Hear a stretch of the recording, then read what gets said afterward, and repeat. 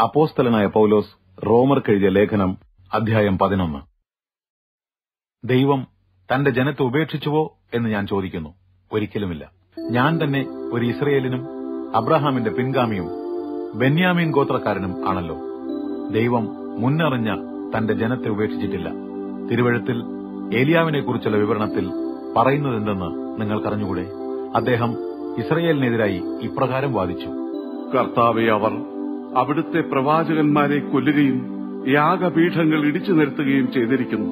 ഞാൻ ഒരുവൻ മാത്രം ശേഷിച്ചിരിക്കുന്നു അവരെന്നെയും കൊല്ലുവാൻ ശ്രമിക്കുന്നു. ദൈവം അദ്ദേഹത്തിന് നൽകിയ മറുപടി എന്തായിരുന്നു? ബാലിന് മുട്ടുമടക്കാത്ത ഏഴായിരം പേരെ ഞാൻ എനിക്കായി സൂക്ഷിച്ചിരിക്കുന്നു. അങ്ങനെ തന്നെ ഇക്കാലത്തും കൃപയാൽ തിരഞ്ഞെടുക്കപ്പെട്ട ഒരു ശേഷിപ്പുണ്ട്. കൃപയാൽ എങ്കിൽ അത് പ്രവൃത്തികളാൽ ആയിരിക്കുകയില്ല. പ്രവൃത്തികളാലെങ്കിൽ കൃപ ഒരിക്കലും കൃപയായിരിക്കുകയുമില്ല. എങ്കിൽ പിന്നെ എന്ത്? ഇസ്രയേൽ അന്വേഷിച്ചത് അവർ പ്രാപിച്ചില്ല. എന്നാൽ തിരഞ്ഞെടുക്കപ്പെട്ടവർ അത് പ്രാപിച്ചു. ശേഷമുള്ളവരോ കഠിനപ്പെട്ടു. ദൈവം അവർക്ക് മരവിച്ച ആത്മാവും കാണാത്ത കണ്ണുകളും കേൾക്കാത്ത ചെവികളും നൽകി അതെന്നും ആ നിലയിൽ തന്നെ. എന്നെഴുതിയിരിക്കുന്നുവല്ലോ. ദാവീദ് ഇങ്ങനെ പറയുന്നു. അവരുടെ ഭക്ഷണമേശ അവർക്കൊരു കെണിയും കുടുക്കുമാകട്ടെ.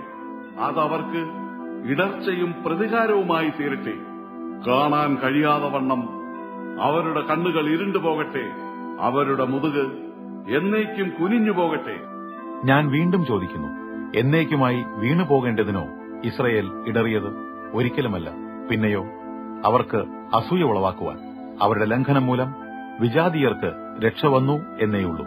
എന്നാൽ അവരുടെ ലംഘനം ലോകത്തിന് ധനവും അവരുടെ തോൽവി വിജാതീയർക്ക് സമ്പത്തും വരുത്തിയെങ്കിൽ അവർ പൂർണമായി ചേർക്കപ്പെടുമ്പോൾ ഉണ്ടാകുന്ന സമൃദ്ധി എത്ര മഹത്തരമായിരിക്കും?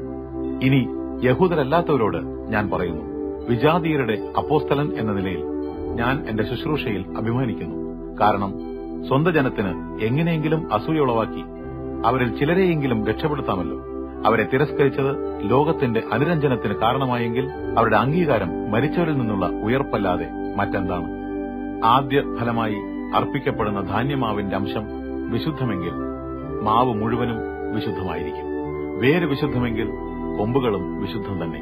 നല്ല ഒലിവ് വൃക്ഷത്തിന്റെ ചില കൊമ്പുകൾ വെട്ടിമാറ്റിയിട്ട് പകരം കാട്ടൊലിവിന്റെ കൊമ്പായ നിന്നെ മറ്റ് കൊമ്പുകളുടെ ഇടയിൽ ഒട്ടിച്ചു ചേർത്തത് മൂലം ഒലിവിന്റെ വേരിൽ നിന്നുള്ള പോഷകരസത്തിന് പങ്കാളിയായി തീർന്നതോർത്ത് ആ കൊമ്പുകളുടെ മുമ്പിൽ നീ പ്രശംസിക്കരുത്.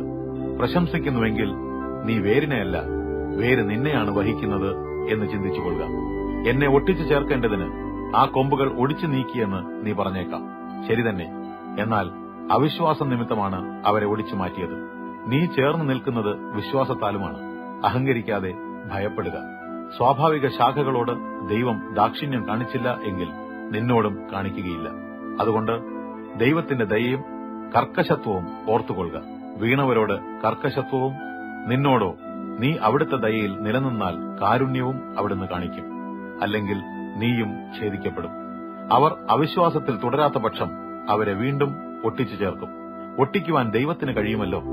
പ്രകൃത്യ കാട്ടൊലിവിന്റെ ശാഖയായിരുന്ന നിന്നെ മുറിച്ചെടുത്ത് നട്ടുവളർത്തപ്പെട്ട ഒലിവ് മരത്തിൽ അസാധാരണമാം വിധം ഒട്ടിച്ച് ചേർത്തുവെങ്കിൽ സ്വാഭാവിക ശാഖകളെ സ്വന്തം ഒലിവ് മരത്തിൽ ഒട്ടിച്ചു ചേർക്കുന്നതിനുള്ള സാധ്യത എത്രയധികം? സഹോദരരെ നിങ്ങൾ ദുരഭിമാനികളാകാതിരിക്കേണ്ടതിന് നിങ്ങൾ ഈ രഹസ്യം അറിയാതിരിക്കരുതെന്ന് ഞാൻ ആഗ്രഹിക്കുന്നു. വിജാതിയുടെ സംഖ്യ പൂർണമാകുവോളം ഇസ്രയേലിന് ഭാഗികമായി കാഠിന്യം സംഭവിച്ചിരിക്കുന്നു.